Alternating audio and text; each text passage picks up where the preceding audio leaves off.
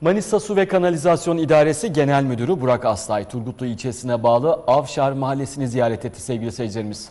Mahallede büyük bir alt ve üst yapı dönüşümüne imza atacaklarını vurgulayan Aslay, yapacakları yatırımın hayırlı uğurlu olmasını diledi. Mahalle muhtarı Yunus Gürbüz de ecdadımız 1453 yılında İstanbul'u, Cengiz Başkanımız da 1453 oyla Avşar'ı fethediyor. Allah emeği geçen herkesten razı olsun dedi.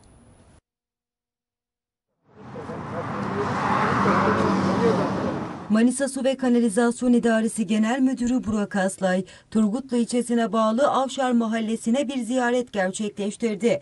Genel Müdür Aslay'a Genel Müdür Yardımcısı Erman Aydınyer, İlçe Hizmetleri Daire Başkanı Serpil Çakır, Büyükşehir Belediyesi Turgutlu Muhtarlık Hizmetleri Şube Müdürü Ramazan Hakan Ulak, Maski İlçe Şefi Hüseyin Yelkenci, Yatırım İnşaat Dairesi Başkanlığı Şube Müdürü Hilmi Serkan Emir, MHP İlçe Başkanı Gürhan Bostan, MHP Kadın Kolları Başkanı Senem Yıldız, Meclis üyesi Hasan Koç eşlik etti. Aslay mahalle ziyaretinde vatandaşlara Büyükşehir Belediye Başkanı Cengiz Ergün'ün selamlarını iletti. Genel Müdür Aslay, döşenecek kanalizasyon hattıyla Avşar'ın atık sularının ilçeye 46 milyon lira yatırım bedeliyle inşa edilen atık su arıtma tesisine taşınacağını da belirtti. Genel Müdür Aslay, mahallede ilk olarak Turgutlu ilçesine kazandırılan hizmetleri anlattı. Hem Büyükşehir'in hem MASKİ'nin birçok yatırımı oldu. Bizim MASKİ Genel Müdürlüğü olarak sadece 85 milyon yatırım yaptık.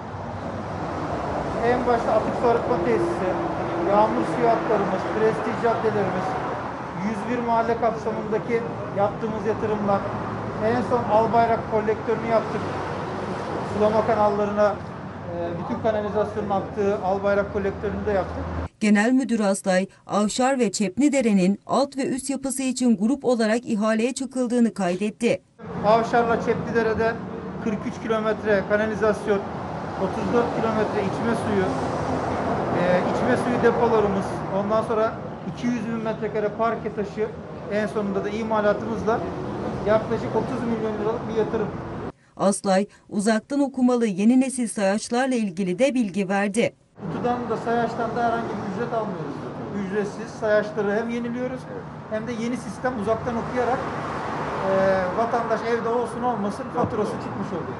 Mahalle muhtarı Yunus Gürbüz de mahallelerine yapılan hizmetten dolayı büyük mutluluk duyduklarını söyledi. Ecdadımız 1453 yılında İstanbul'u fethetti. Cengiz Başkanımız da 1453 oyla Avşar'ı fethediyor. Allah razı olsun. Başkanımızın selamlarıyla, sevgileriyle